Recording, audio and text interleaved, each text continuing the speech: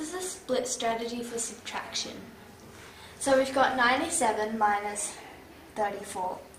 You always do the tens first. So we've got 9 tens minus 3 tens, which gives us 6 tens. Then we do the units. 7 minus 4 equals 3. So that means our answer is 63. Today we are going to be doing subtraction with regrouping. Our sum is 312 minus 242. We always start on the right side, so the 2's, and our first sum is 2 minus 2. So we do 2 minus 2 and that equals 0. We can then take away the units and all the 2's. Our next sum we've got is 1 minus 4. We cannot do this, so we have to take one of the hundreds and split it into 10 lots of tens. We now only have 200 and we um, 111. We have now 11 tens. We, 11 minus 4 now equals 7. And we can take 4 more, 4 away. We finally got 2 minus 2 for the 100, which equals 0 again. So we can take away the 200.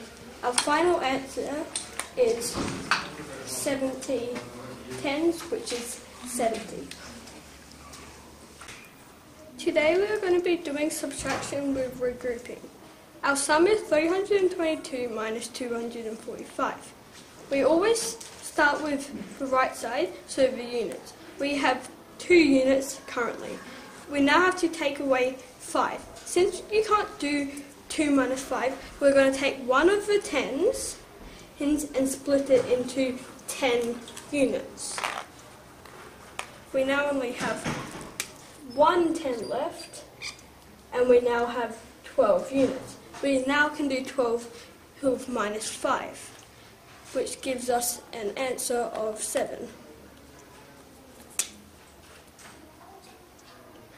Our next step is to do the tens.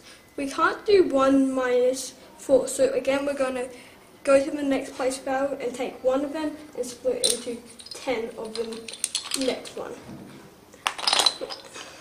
We now only have two hundreds, but we have 11 tens, meaning, and 11 minus 4